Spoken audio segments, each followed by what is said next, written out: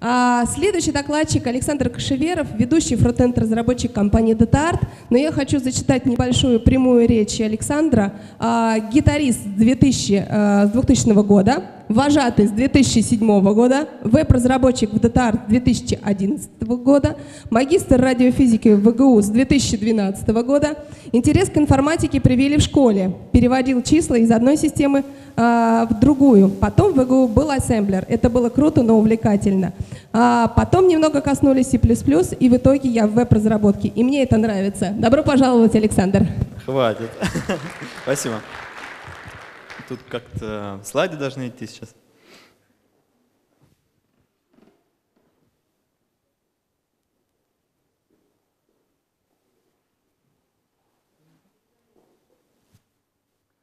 Да. Меня зовут Александр Кшверов. А, в 2011 году пришел в компанию Dotart. Очень странным образом общался на одном неизвестном никому форуме, который уже закрылся, спросил, а где можно вообще работать по такой примерной специальности. Причем форум был совершенно не воронежский, а какой-то рус, ну, просто русский. Вот. И мне говорят, ну, в, будет день открытых дверей, приходи, там посмотришь, я ленился, не хотел идти, в итоге пришел, мы еще в галерее Чижова сидели. В общем, под впечатлением а, подал резюме, и, в общем-то, через 45 дней у меня был первый рабочий день, и первый рабочий день в жизни, наверное, каждого человека – это шок. Ну, в общем, я был в шоке. Но это было приятно, и сейчас я, в общем-то, получаю удовольствие. Не зря все это. Вот, да, первый был слайд. Второй. А, что я расскажу? Я расскажу немножко про фронтенд, что это такое, про клиентскую разработку. Вкратце расскажу про историю.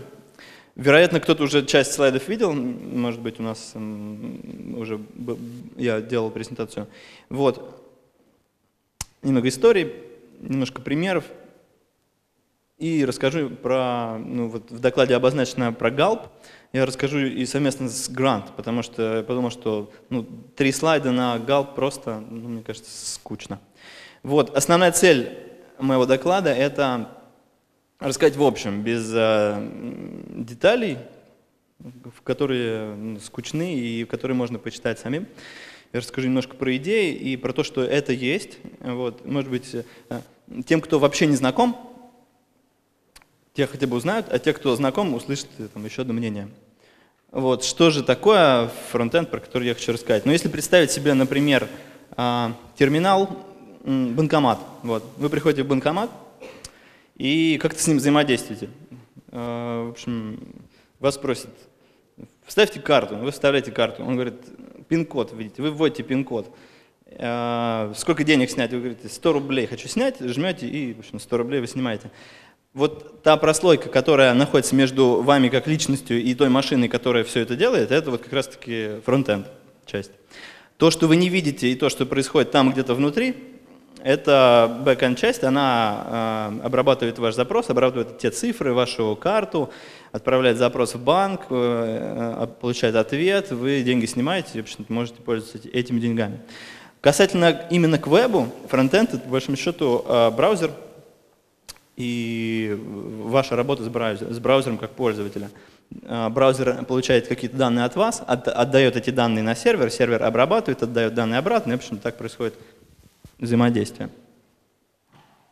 Опять я опоздал э, со слайдом. Ну вот, э, как частный случай, фронтенд, э, здесь браузер, браузер обрабатывает, отдает данные, к бэкэнду, бэкэнд что-то там с баз данных работает, вытаскивает что-то, отдает бэкэнду, бэкэнд к фронтенду. А, в 96 году интернет выглядел вот так. Поднимите руку, кто застал этот момент. Класс. Держите руки. А, кто застал 97-й? И был 98-й. Поднимаем 99-й. 2000-й. 2001 2002 2003, 4, 5, 6, 7, 8, 9, 10. Все хорошо, спасибо. Вот. И ну, раз есть такой слайд с 96 -го года, то наверняка следующий слайд будет современный. Как вы думаете, что там? Нет, еще вариант. Нет. Там Facebook. Вот. А, если сравнить Yahoo и Facebook, то они катастрофически колоссально отличаются друг от друга. Вот. А, что? На одно лицо. Вот. А, в Yahoo, как происходило с точки зрения фронтенд, бэкенд и, может быть, там даже баз данных какая-то была. А, бэкенд отдавал HTML, а, как, как кусок текста, допустим. И а, браузер его принимал, я просто обрабатывал и показывал. Там были небольшой набор элементов, это были ссылки. Тут, наверное, не видно ничего, да? Ну, короче, ссылки были, картинки какие-то, поле ввода. И, в принципе, это был такой достаточно ограниченный набор вот таких элементов, с которыми можно было взаимодействовать. В 2015 году, сейчас, если посмотреть, здесь есть все. Здесь, я не знаю, и видео, и Андрей Саксонов в всплывающем окне, если кликнуть, вот, и чат здесь есть, и картинки, и друзья, и какие-то и рекламы, все подряд. Вот. Технологии колоссально изменились с того момента, и, соответственно, фронтенд тоже колоссально изменился с того момента. Если раньше вся логика обрабатывалась на сервере, то сейчас часть логики обрабатывается на клиенте. Соответственно, серверу вообще не нужно знать, что там происходит на клиенте. Он обрабатывает данные, отдает данные. Клиент принимает данные и уже сам строит HTML и работает с вот этой частью. Вот это одна из визуализаций, как происходило изменение, история технологий. А, не всматривайтесь, я сделал вот так. А, началось все примерно в 91-м, когда был HTTP э, протокол разработан. И дальше потихоньку технологии начали развиваться. В 96 году это, ну, плохо, наверное, видно, где-то вот тут. А, в общем-то, э, Yahoo сайт э, и скриншот этого сайта был показан, и тогда уже люди начали узнавать, и технологии немножко быстрее начали развиваться, и браузеры появляться начали, и так далее. В общем, время шло, и технологии развивались. Время шло, технологии развивались. А последнее время, время идет, и технологии развиваются раз в 10 быстрее. И это только с технологической точки зрения. Здесь появляются CSS3, Transitions, HTML5, технологии и куча-куча-куча всего. Это, это только технологии. А вот а, что люди делают с этими технологиями, там код, например, они программируют, они пишут сайты. А, если внести сюда еще и вот это, то здесь будет, ну, мне кажется, черный квадрат просто. Очень много всего происходит. Что же такое фронтенд с точки зрения, ну, чуть-чуть подробнее. Это много умных слов на самом деле, но три основных из них вот здесь находятся. Это HTML, CSS, JavaScript. А, они создают там основу веба, и на, веба, и на основе всего этого строятся современные сайты и современный фронтенд. А, HTML создает структуру, CSS а, внешний вид и логику JavaScript. Если это там, метафору сделать, то это конструктор Lego, например. HTML это кубики, CSS это цвет кубиков и там форма, закругленные уголочки. А JavaScript это ребенок, который ломает все, делает что-то новое, в общем-то, докупает и работает с этим. Но все было бы не так интересно, если бы JavaScript вообще не пришел в этот мир и не разнообразил его настолько, насколько он разнообразил его. Начал, появился он в 1995 году в компании Netscape. Э, была поставлена задача изменять структуру документа без перезагрузки страниц. Если в 1996 году единственный способ, как можно было добавить картинку, например, на страницу, или изменить цвет какого-нибудь элемента, был перезагрузить страницу, то, то есть полностью обновить, очистить э, страницу браузера, запросить э, лишний запрос к серверу, получить этого, еще раз отобразить, то они, у них пришла идея избавиться от лишних действий. И, в общем-то, применили язык программирования. В 1996 году Microsoft, конечно же, сделала свою версию и сделала язык JavaScript. Все это под вид все это диалекты более широкого языка, ECMAScript называется. Тот же ECMAScript э, работает в Маткаде. Я в свое время писал дипломную работу, и я писал в Маткаде на, как он назывался, не помню, ну что-то там скрипт. Вот. Люди писали программы, э, писали сайты, программировали на JavaScript и постоянно делали там одни и те же действия. Например, им нужно было посчитать там, сумму, например, или им нужно было найти э, список элементов на странице через JavaScript. Um, и таких вот подобных э, моментов, которые постоянно повторяются, ну, возникало много. Поэтому люди собирали это в кучу, эти повторяющиеся куски кода, и делали библиотеки. Одна из крутых библиотек, которая появилась в, в каком? 2005 это jQuery, которая реально упрощает работу программисту и вообще жизнь. А, и появились еще подобные. Dojo, Mootools и куча-куча-куча других. Здесь появилось больше разработчиков с появлением там, этой библиотеки и других библиотек, потому что стало проще.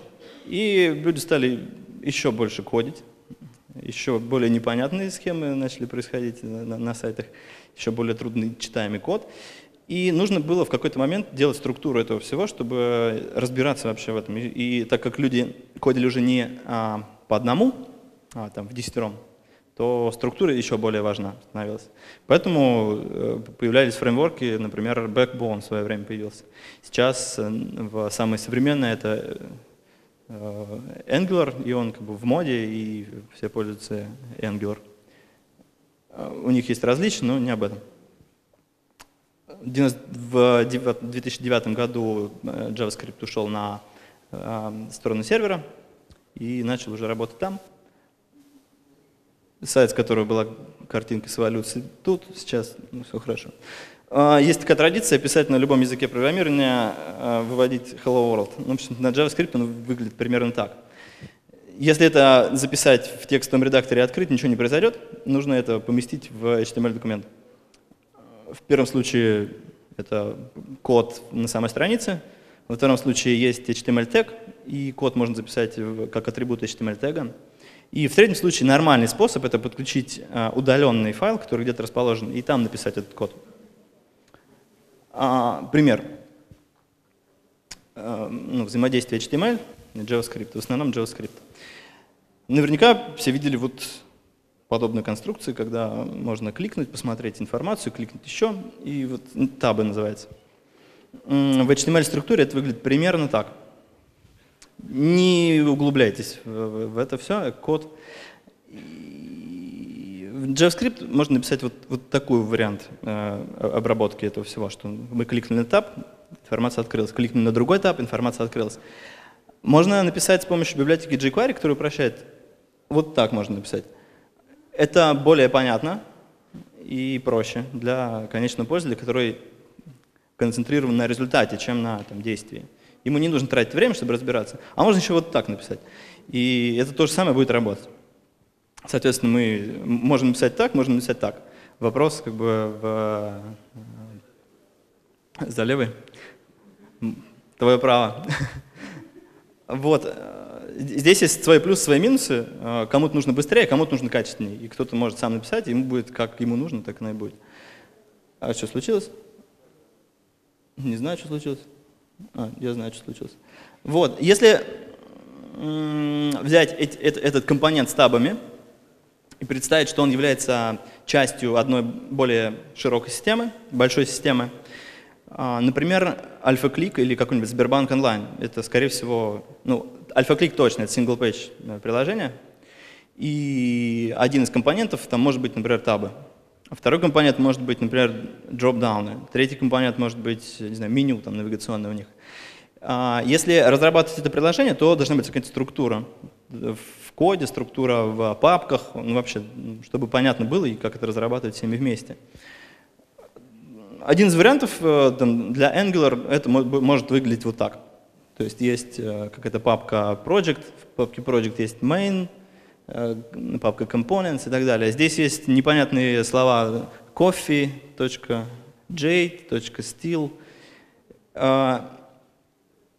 Coffee это примерно JS, только попроще ну, и поудобнее. Некий синтаксический сахар он называется.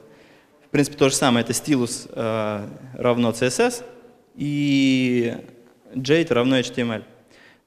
Не суть. Можно без этого, можно с этим. Чтобы это все заработало, это нужно все подключить на страницу, так как это веб-приложение. Это все можно получать по одному элементу. и будет тогда куча ссылок на странице на каждый конкретный отдельный элемент. А можно все это собрать в кучу, и чтобы в конце было всего лишь там 2-3 файла. Это индекс, это весь JavaScript в одном файле и весь CSS в одном файле. Соответственно, здесь промежуточные действия, которые происходят, и там происходят действия какие? Например, если это JavaScript функциональность, то там происходят тесты. Э, мы можем очистить папку со старым билдом, со, со старым приложением. Мы компилируем все, что нужно скомпилировать, мы это все соединяем вместе и все это минимизируем и, и, и, и выплевываем вот эти два, там, три файла. Э, происходит некое такое упрощение. Э, что происходит посередине? Происходит процесс, и этим процессом может управлять современные программы. Две как бы, самых популярных и самых основных это Grunt и Gulp, э, task менеджеры. Grunt появился раньше, и э, у него аудитория пошире. Gulp появился попозже. Но за последний 2015 год, вот за несколько месяцев, он уже догоняет. Тенденция к тому, что Gulp, скорее всего, будет даже популярнее под конец года, хотя кто знает. Что это? Это Node.js — это серверная, серверный JavaScript, который упрощает работу как бы, в, с большим, крупным э, веб-приложением. Он, соответственно, все, что я описал, делает, он собирает все в кучу, минимизирует и упрощает как бы, работу. И готовит это все к э, тому, чтобы сайт работал быстрее, проще и, и сохраняя изначальную структуру для программистов, для понимания. Э, как он устанавливается? Он устанавливается через пакетный менеджер Node.js, через npm install, и в принципе то же самое. Это вторая строчка. npm install grunt, npm install gulp. А, запускаются они тоже одинаково практически. Это grunt task и gulp task. А, есть два файла, которые необходимы для их работы. Это package.json а, и grunt файл или gulp файл. Package находится список зависимостей для библиотек, а в gulp файл и grunt файл находится порядок действий, которые должны выполнять, это должна быть выполнена. Э, есть э, такое достаточно известное приложение, э, To-Do Application. Оно делает что? У нас есть вот верхняя строчка, в верхнюю строчку можно вписать какое-то слово. Например, я хочу в магазин пойти, и мне там нужно купить молоко. И я вот пишу верхнюю строчку молоко и, и вбиваю Enter. Появляется список внизу, и там нужно молоко купить, мясо, не знаю, вареники, получается список. А, то есть то, что, что нужно сделать. Когда я покупаю молоко, я могу удалить. Когда я покупаю мясо, я могу удалить. И примерно такая очень простая функциональность. А, это реальный маленький проект, который есть а, в интернете, на гитхабе лежит. И структура документа, структура этого приложения выглядит ну, следующим образом слева. Есть индекс HTML как HTML-странице, есть э, несколько э, JavaScript файлов с разной логикой, есть э, несколько CSS файлов, которые ну, есть base и какой-то там основной. Что мне захотелось сделать с примером Gulp и Grunt, это минимизировать все, сделать один HTML файл и все собрать в кучу, сделать еще два дополнительных файла, чтобы не плодить лишние запросы к веб-серверу и сократить время. Как это можно сделать через Gulp Grant? А, Grant э, — это package.json файл, в котором есть э, небольшое описание проекта самого и список зависимостей. Первой строчкой, ну, понятно, второй версия понятна. И дальше dependencies и dev dependencies. Не буду говорить разницу, примерно то же самое. А, в общем, здесь пишутся те Node.js плагины, которые необходимы в этом проекте. И при нажатии кнопки npm install он устанавливает все, что необходимо. Для Gulp и Grant примерно одно и то же идет. Но здесь можно заметить, что, а, например, в Grant есть Grant Contrib Copy плагин, а в Gulp его просто нет. В Gulp по умолчанию встроена эта функция, и она просто не нужна. Он, у него такая идеология, что ему не нужно это дополнительно. Примерно так выглядит файл настроек для Grant. Он достаточно такой емкий получился. Примерно так выглядит э, файл настроек для Gulp. Э, он поменьше и на самом деле попонятнее. Ну, да. Вот, и запускается все там элементарно через командную строку, gulp и grunt, если установлены Node.js э, и NPM и все такое. Происходит некий процесс, и на выходе мы получаем то, что хотели получить. Мы получаем три файла HTML, CSS и JavaScript. А... Все понятно или ничего не понятно? Какие-нибудь вопросы есть по этому?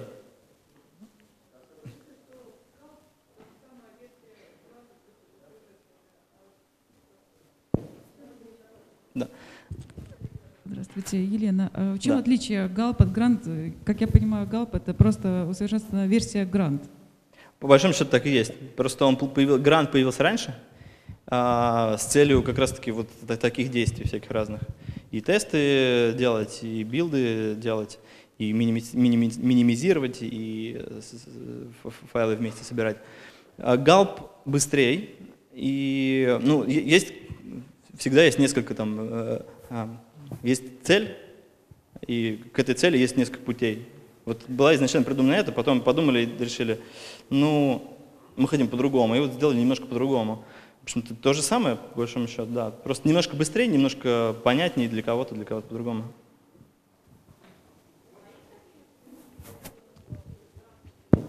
Да. Извините, да.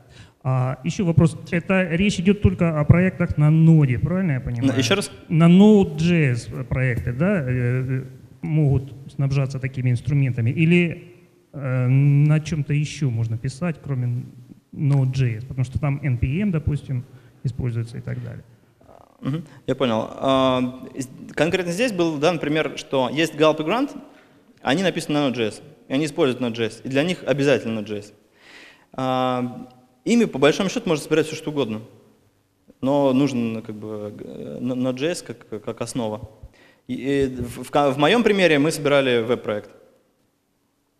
Вопрос был про, про преимущество, преимущество грант перед Galp и Galp перед грант. Одно из основных преимуществ то, что Galp использует а, для ну, временного хранения оперативную память. А Грант пока использует э, дисковую память, он туда записывает, поэтому Галп намного быстрее. Грант, э, он больше нацелен на конфигурацию, то есть там, если посмотреть назад, выглядит как, по большому счету, JSON-файл, и вокруг еще там внизу что-то там, и вверху что-то там, а основа вот она посередине. Это, это конфигурация. И кому-то понятнее вот так вот писать, нацеливаясь на там, декларативный э, стиль, что я вот хочу вот это, вот это, и вот здесь есть параметры, параметры. А кому-то приятнее писать вот так. Это более Node.js стиль. А здесь есть э, потоки, и ну, кому-то понятнее вот это. Мне понятнее вот это. И у меня был опыт с Grant, был опыт с Gulp. Gulp проще для меня. Еще. Так, и я не смог удержаться и, и добавил несколько смешных картинок. Когда действительно разрабатываешь приложения большие, крупные, то эти таск-менеджеры они работают постоянно и очень много. То есть я изменяю один файл, а он постоянно вот кучу-кучу-кучу работы проделывает. Поэтому ну, очень интересно, мне понравилось. В общем, машины должны страдать, пока мы строим красивый веб. Так и есть. Если бы машина была там человеком, то я думаю, что она ругалась бы очень много и долго, пока я разрабатываю приложения для там, своих друзей и для мира. И еще несколько. То есть сначала типичная настройка сайта в 2014 году. Устанавливаем Node.js, устанавливаем Bower, берем CSS фреймворк, выбираем responsive э, способ и где-то там далеко-далеко начинаем только писать немножко HTML-код. А здесь должна гифка быть, но она не работает. Да? Но вообще это тоже правда. Это бывает. Да? А, во, во, во, во, во. Класс. Вот, и про JavaScript немножко. Вот. Про HTML я искал, не нашел ничего, к сожалению. Ну, HTML, ну, такой вот HTML. Вот если есть вопросы, то еще раз задавайте. Про, в принципе, про любые темы, про э, фронтенд, про веб, да.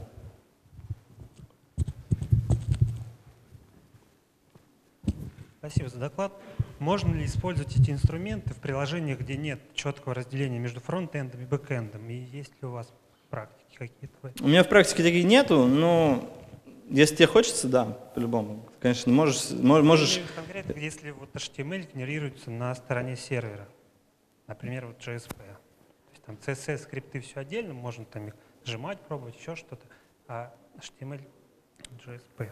А мо- Можешь еще раз повторить вопрос, чтобы он был короче и, и такой ем, емче, емкий. Можно ли использовать эти инструменты Gulp, Grunt в приложениях, где нет четкого разделения на фронтенд, бэкенд, в частности, HTML генерируется на стороне сервера? Я, я понял. Я этого не делал, но уверен, что да, потому что здесь нет э, у Gulp и Grunt четких требований, что это обязательно должно к HTML быть привязано. В принципе, им можно, не знаю, файлы какой-нибудь э, TXT вместе соединять, CSV можно ими парсить и делать из них XML. Это вот что угодно на самом деле. Они также собираются, также, да. А, Так, Спасибо. два вопроса. Спасибо за доклад, во-первых. А, а, Первый вопрос. Где вообще проходит та граница, когда нужно переходить к приложениям, построенным на JavaScript управлении, то есть когда мы отказываемся от JSF и чего-то такого, то есть где та граница, допустим, там количество посещ- посещаемых пользователей такого. Это первый вопрос. Тебе нужно зависимость использовать Grant или Galp от Нет, нет, а, именно вот э, по а, разработке, то есть когда мы уходим а, от, допустим, веба, который генерится на стороне сервера, до веба, который генерится на стороне фронтенд, ну, браузера. Честно говоря, у меня нет опыта вот именно бэкэнда вот такой разработки и генерации HTML. Мгм. Я бы, я бы все отдавал в фронтенд, честно говоря, а на сервере только э, да, э, данные генерировал. Зачем тебе бэкэндщику знать, что там вообще? А, Окей, и второй вопрос, спасибо. А, Второй вопрос, а, вот э, была картинка как раз, а, где говорилось, что сейчас куча всяких UI-фреймворков и прочих всего, что дают. Вообще, как определиться, что нужно, чтобы не погрязнуть там в 10-30 библиотеках JavaScript, которые у тебя используются, а ограничиться исключительно там тем, что нужно, но и не писать кучу лапши самостоятельно. Ну, стандартно, что нужно в проекте. Я тебе не могу сейчас дать рекомендацию конкретно, что есть сайт, к- на котором написано to-do приложение на каждом из фреймворков. Навер- Наверняка знаешь. Ну, в принципе, там вот можно посмотреть примеры. Тебе что приятнее и, и что в команде. По быстродействию, если тебе интересно, ну, Backbone быстрее Angular. Мгм. Спасибо. Спасибо большое, коллеги. Спасибо большое, Спасибо. Александр.